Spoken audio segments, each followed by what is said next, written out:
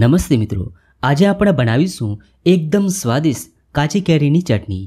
આ ચટણી ટેસ્ટી હોવાની સાથે સાથે ગરમીઓમાં શરીરને ઠંડક પણ આપશે. અને તમે એકવાર આ ચટણી ખાધા બાદ આ જ રીતે બનાવશો. તો વીડિયો ગમે તો લાઈક કરજો અને ચેનલને સબસ્ક્રાઇબ કરવાનું ભૂલતા નહીં. તો ચાલો હવે બનાવીએ. સ્વાદિષ્ટ ચટણી બનાવવા માટે મેં અહીંયા ચાર મીડિયમ સાઇઝની કેરીને આ રીતે છાલ ઉતારી કટ કરી લીધી છે. સાથે તેની અડધી માત્રામાં એટલે કે બે મીડિયમ સાઇઝની ડુંગળીને પણ આ રીતે મોટી સાઇઝમાં કટ કરી લઈ લીધી છે. હવે આપણે જારમાં એડ કરીશું કટ કરેલી કેરી. સાથે તેમાં એડ કરીશું ડુંગળી.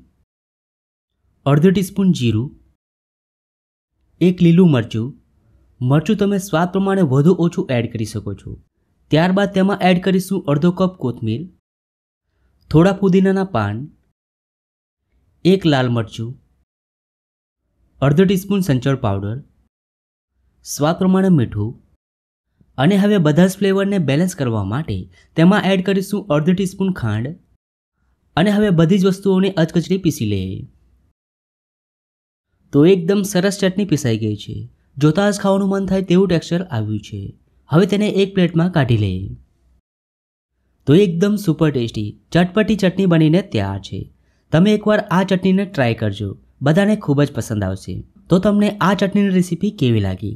જો રેસીપી ગમી હોય તો વિડીયોને લાઇક અને શેર કરજો.